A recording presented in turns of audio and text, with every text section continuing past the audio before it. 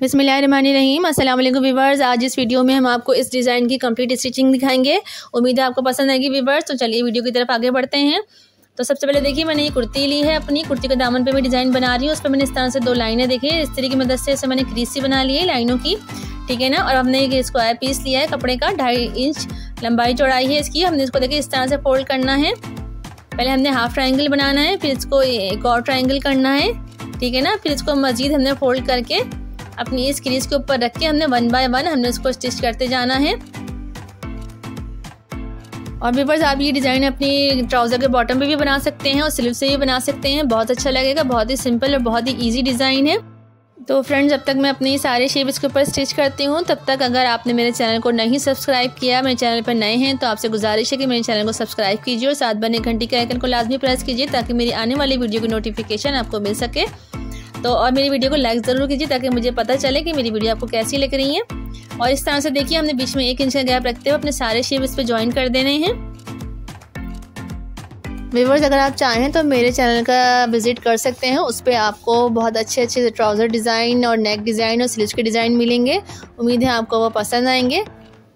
तो देखिए, इस तरह से मैं अपने सारे शेप इस पर स्टिच कर दूँगी और सेम इसी प्रोसेस से हमने नीचे वाली जो क्रीज है, उसके ऊपर भी अपने सारे शेप को इस पर ज्वाइन करना है। देखिए।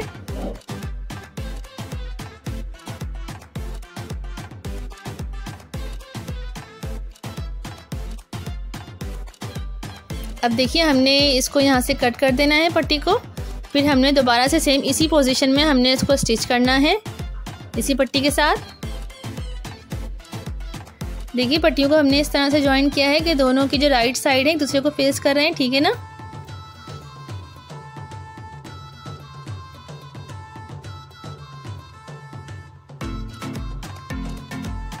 अब देखिए सेम इसी तरह से हमने दूसरी वाली पट्टी को भी कट करना है यहाँ से, और फिर इसको भी सेम इसी प्रोसेस से हमने ज्वाइन करना है दोबारा से।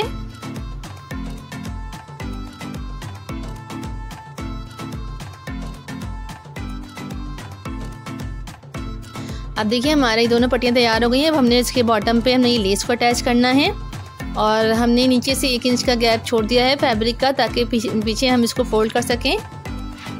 ठीक है, ये लेस का रॉन्ग साइड रखा है। अब देखिए, पीछे हमने इसको फोल्ड कर देना है। और इस तरह से हमारा ये दामन है, ये फोल्ड हो गया है। अगर आप चाहें तो इसको टॉप पे आपने आप स्टिच कर सकते हैं। अब देखिए, जो दो सिलाइयाँ थी पीछे की, इसको हमने इस तरह से ओपन करके इसको प्रेस से हमने इसको जमा लिया है, ठीक से, ठीक है ना? ताकि हमारा शेप अच्छा सा बने इसके ऊपर। अब हमने इसको ओपन करते जाना है इस तरह से, और ये अच्छा सा पेटल का शेप बन जाएगा हमारा।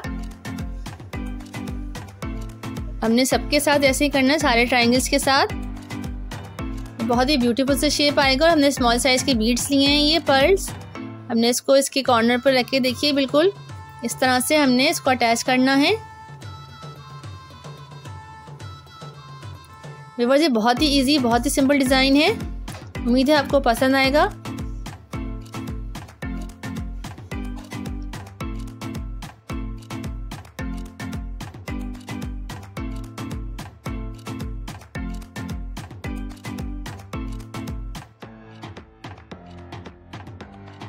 तो देखिए इसी तरह से हमने अपने सारे बीड्स इसके ऊपर अटैच कर देने हैं, ठीक है?